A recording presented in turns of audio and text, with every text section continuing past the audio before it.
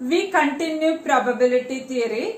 In the last class, we have discussed about the mathematical definition to probability as well as the statistical definition to probability.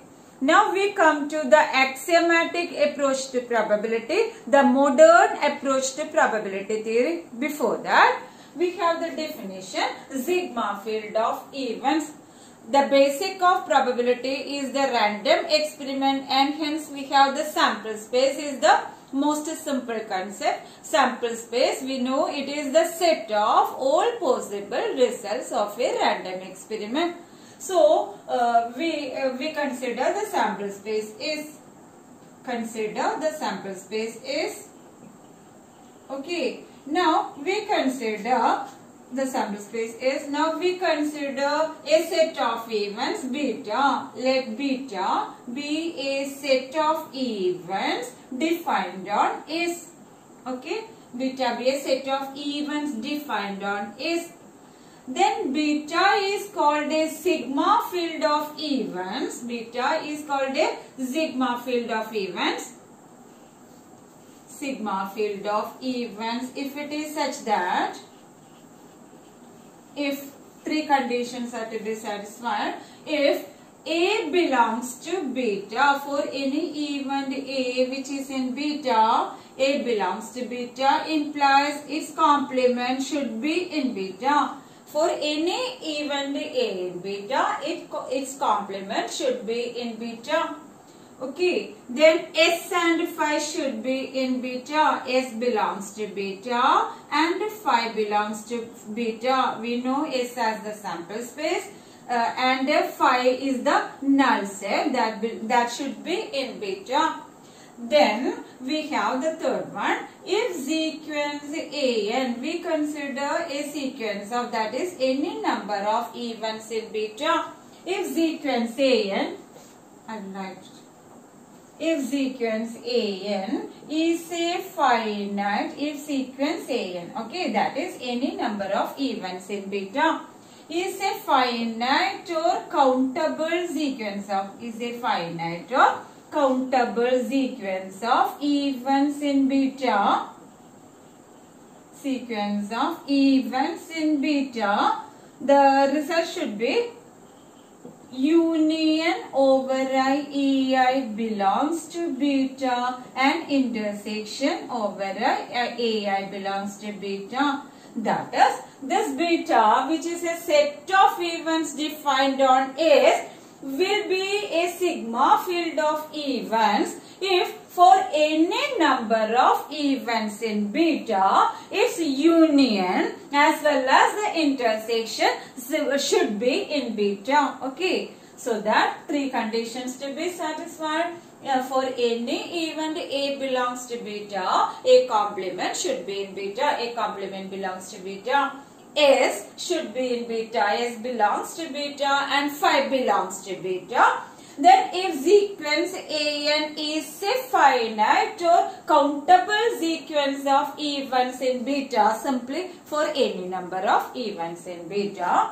Union over I AI belongs to beta and intersection over I AI belongs to beta. Its union as well as the intersection for the for any number of events in beta should be in beta for example for example suppose s is the set 1 2 3 now we can write here there are three elements okay? So that we can write the power set.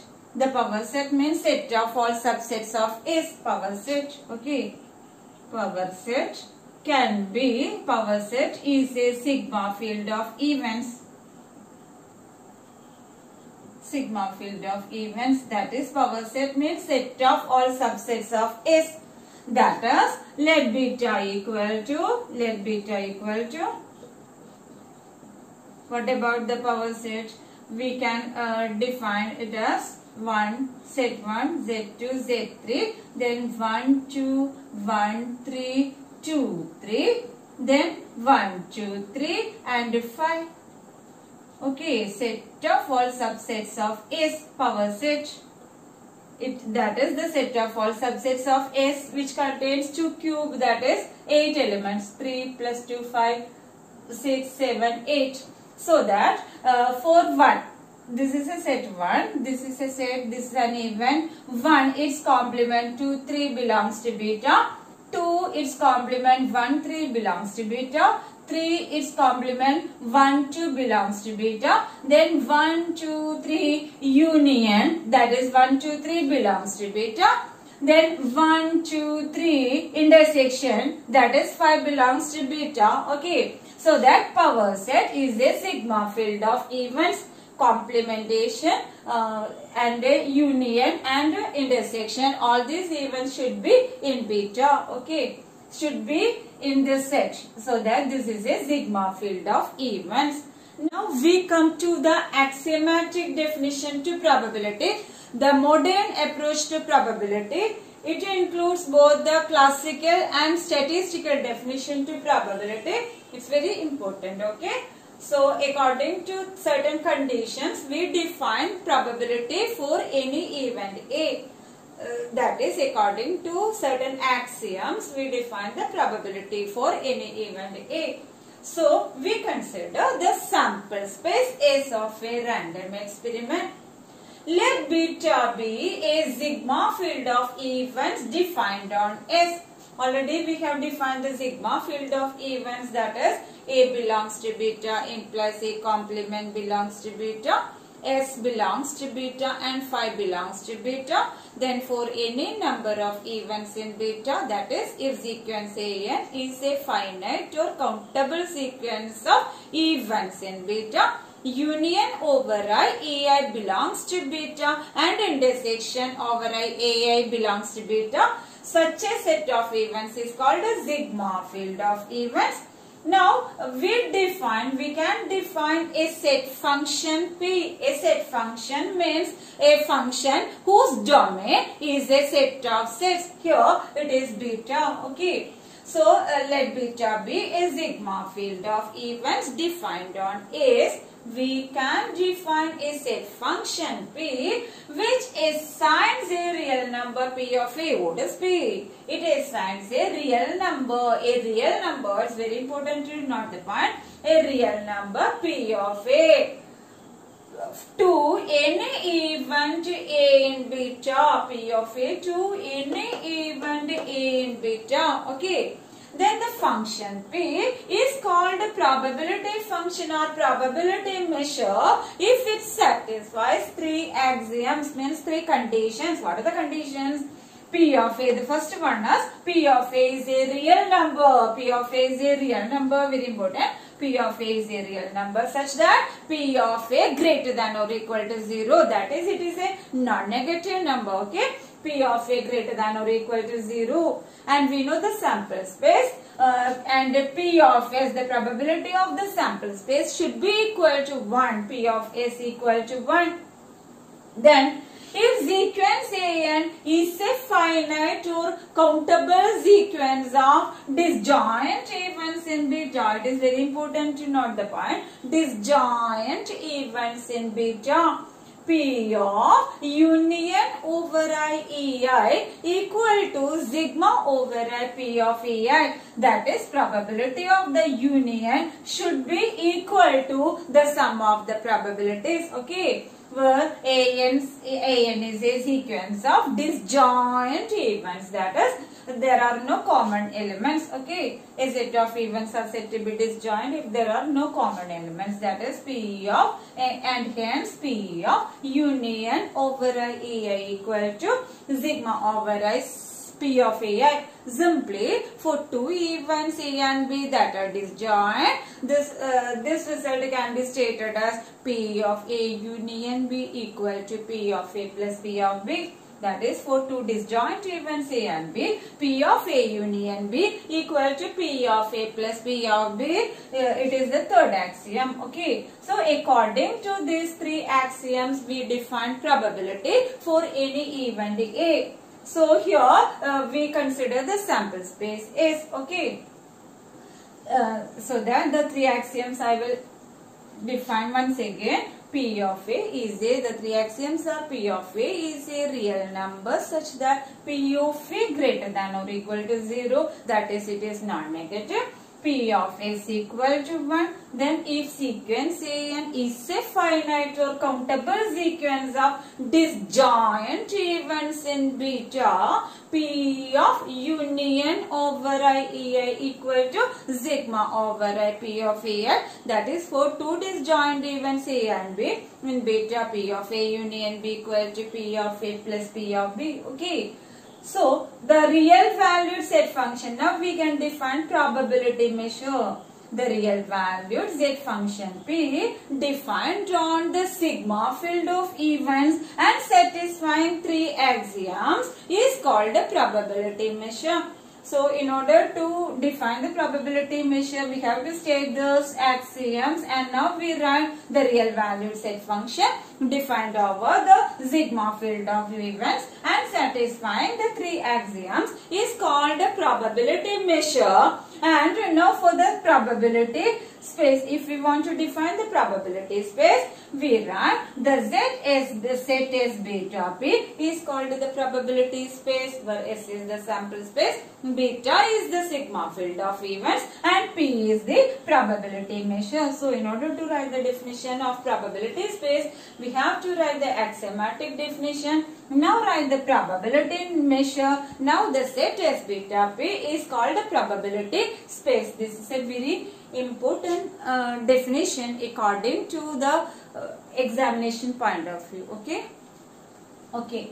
Now we have uh, the three definitions to probability, the classical definition, the statistical definition and the axiomatic definition to probability so that we in short probability is a number lying between 0 and 1 0 less than or equal to p of a less than or equal to 1 we prove this results um, so that uh, it may be both including 0 and 1 if P of A equal to 0, it is called an impossible even. If P of A equal to 1, it is called a certain or sure event.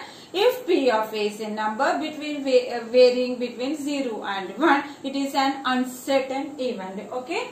Now we uh, prove the results of probability, the properties of probability. The first property is P of phi equal to 0 we know phi is the impossible event.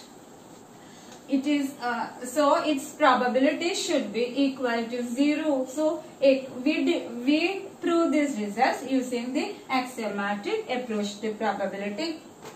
Properties of probability.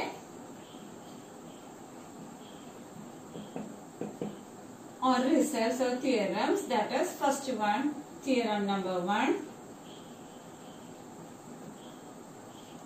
that is P of phi equal to 0, P of phi equal to 0.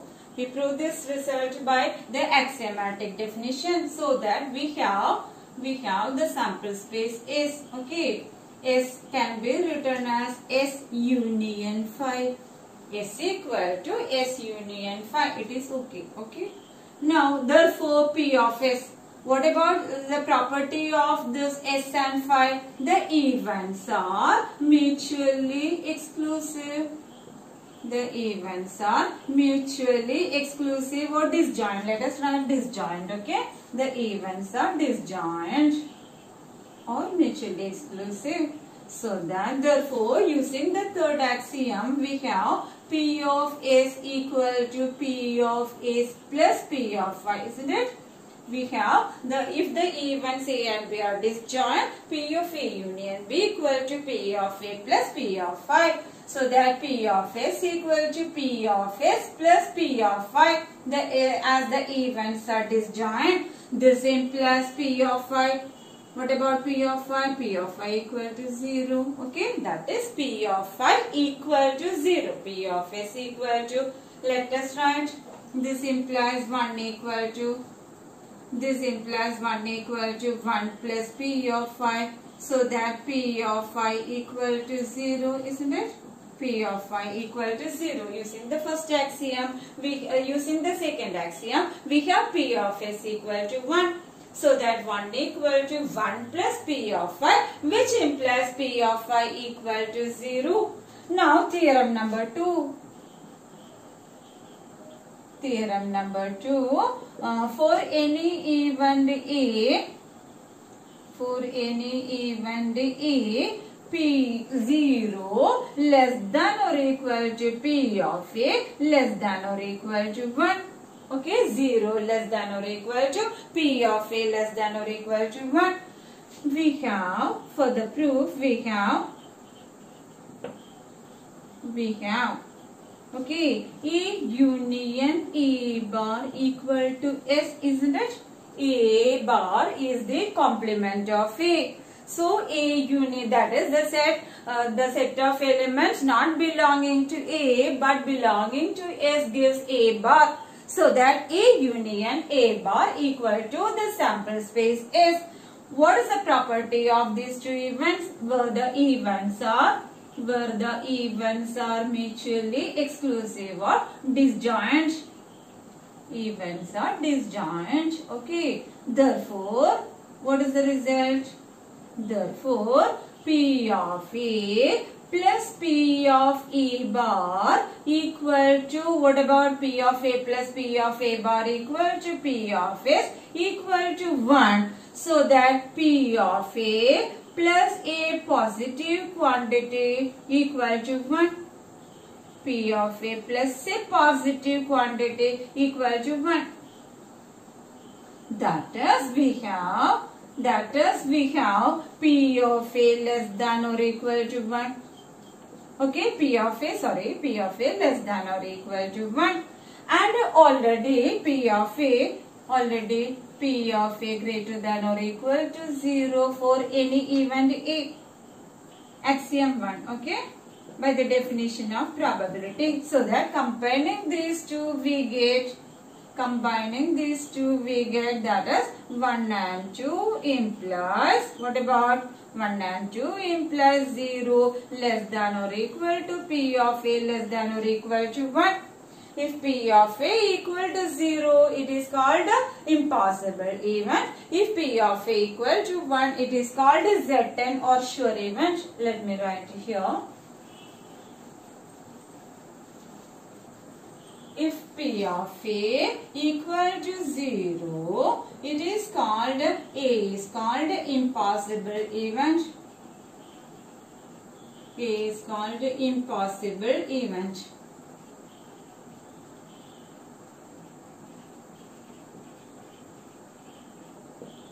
If P of A equal to 1, A is called sure event. A is called sure event. If 0 less than P of, uh, if uh, P of A is a number between 0 and 1, it is called uncertain event. Okay. So, uh, this theorem is for any event is 0 less than or equal to P of A less than or equal to 1. Now we have the result, the theorem number 3 is if A bar is the complement of event A. Theorem 3. If A bar is the complement is the complement of the event A of the event A, then P of A bar equal to P of A bar equal to 1 minus P of A. Okay. Already we have this result for the proof. We have the same one as in second theorem. We have SA equal to, we have A union A bar equal to S where the events are mutually exclusive or disjoint. The events are disjoint. Isn't it? The events are disjoint. We have already specified this one. So that therefore, uh, what is the result? Therefore, P of A plus P of A bar equal to P of S and we already know it as equal to 1. What does it mean? This implies P of A bar equal to 1 minus P of A. A very important result. If A bar is the complement of A, P of A bar equal to 1 minus P of A and this result to be applied in uh, most of the problems. Okay. If P of A bar, if A bar is the complement of A, P of A bar equal to 1 minus P of A. Thank you very much.